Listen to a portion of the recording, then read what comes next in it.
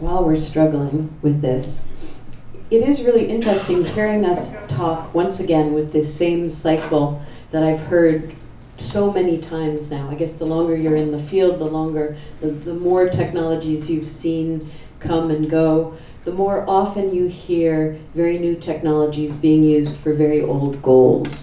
Bit today.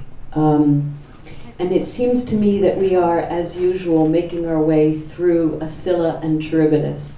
And this is, so Odysseus, when he went on his grand quest, um, was called to by two monsters, sirens, one on the left of him and one on the right of him. And each said, Come here, come here, it's good here. And this is Scylla uh, for television, that television can benefit your children, uh, improve their marks at school, and make their lives better in every single way. And I didn't blow this up because we don't have time, but if you'd like to see this, it's truly extraordinary. It's really television as bait. If you want your child to do something, just say you'll take away television if your child doesn't do it. And the Charybdis in this case, and I am going to try and show this to you because it's so wonderful. Um, this is a spot, a public service announcement. So run for free. Anything to protect them build fences, install security tech. wait, you have to hear it from the beginning. We would do anything to protect our children. Anything to protect them. Build fences, install security systems, even move to a safer neighborhood. When your children are at home, you think they're safe, but are they? What about the internet? Have you taught them to protect themselves online? Make internet safety a family concern. Visit www.netsmartz.org. Did you see the bad guy? I love the bad guy. So this is a, a PSA that ran um, around eight years ago, I think, and um, let's get this back. Uh, and I think it represents well the, yep, okay, represents well those um, those eddies that we've been running between today. Is this all good or is it all bad?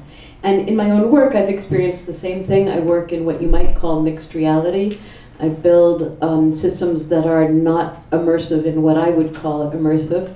They're virtual children, virtual adults on a screen. Children aren't asked to imagine that they are on the screen or that the children are in reality, but we've found ways for them to exchange toys back and forth between the real and the virtual world, and we've done this work with children with high functioning autism and children in under resourced schools and so forth.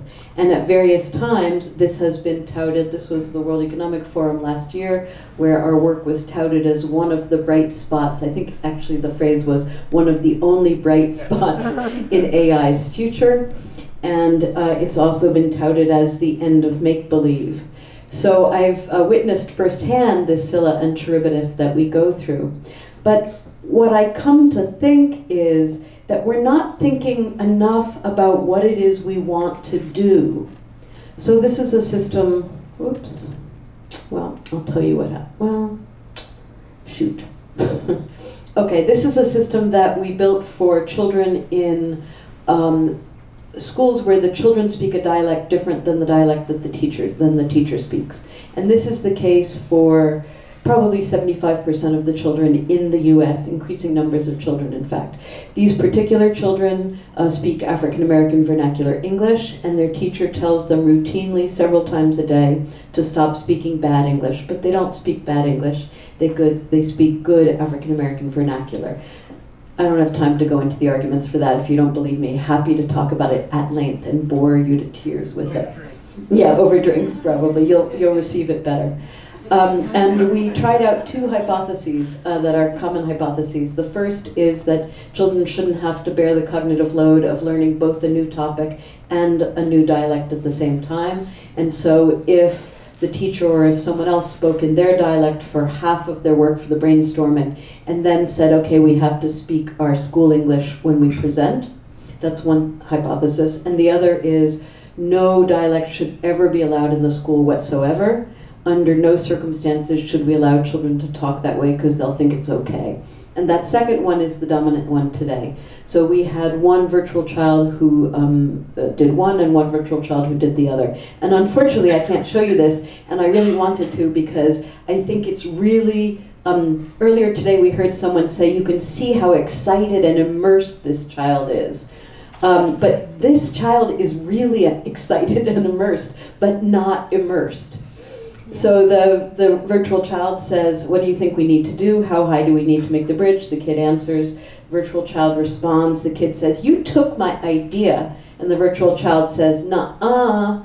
And the real child says, Uh huh. And it's just a very childlike endeavor. And lo and behold, it turned out that the virtual child, who, I mean, the real child who worked with the virtual child speaking dialect, acquired more science discourse, made greater gains in science discourse, but really, the true result was that that result was mediated by rapport, that the children felt higher rapport with the agent who spoke like they did, and when they felt higher rapport, they made greater gains in science discourse. Teachers can't speak that dialect, they don't feel it's right, they don't feel that um, they're in a position to do it without it feeling like it makes fun. And so, this is something that a virtual child can do that a real child can't do. And that's really my point um, I'd really like to see us move past optimism and pessimism and start thinking about what we do and why we do it. If we have a new technology, it's not a hammer looking for a nail. It's a set of opportunities and challenges, and I think that's really what we've been told all day today.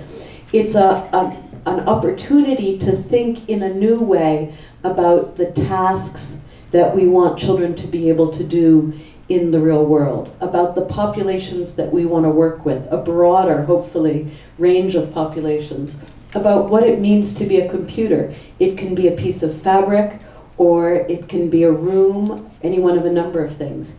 Um, do we think of one child as the unit of analysis? I no longer do. I think of dyads. I always work with the dyad. What would it mean to have sociality be a basic unit of analysis in our work? And I think about abilities different um, children are multi-abilitied and they also have different abilities from one another. So really what I'm asking you to do is to parameterize your design goals and to think first about what you want to do. What do we want to do today and in our future? And then look past a perfect technology and a terrible technology to whichever technology happens to be best for those developmental imperatives and design goals that help children meet those imperatives. So um, designing for sociality, I agree with Michael 100% that we really need to have children face to face with other children. Also with their parents, I care less about that personally. uh, but they certainly need sociality in their lives. Um, designed for them to be able to construct selves, multiple selves, and play with them, perhaps in a safer way than I did, for example for a multiplicity of uses. And for me, this is extremely important. And like Susanna said, I have been shocked at how little I've heard this today. Children should be producers and not just consumers. How often have we said this? How many times are we going to need to say this with each new technology? So I often get asked to talk about Alexa and Siri, and so I went online and I found these great videos usually by eight and nine year olds, that seems to be the key age, of children hacking Alexa. Now that is good technology. A technology that can be hacked by children and made to do things so that children are engaging with their bodies and their minds and making something their own. And that, to me, is really the definition of a good technology, is something that can be appropriated, that allows children to produce in order to fulfill these goals. Um, I'm sure you all, because we all work on these kinds of things, get asked to predict the future. And I, I always refuse now because we can't predict the future. I can't, I'll speak for myself. Perhaps you can. But we can make it happen, and perhaps that's what we should be thinking about. Thanks.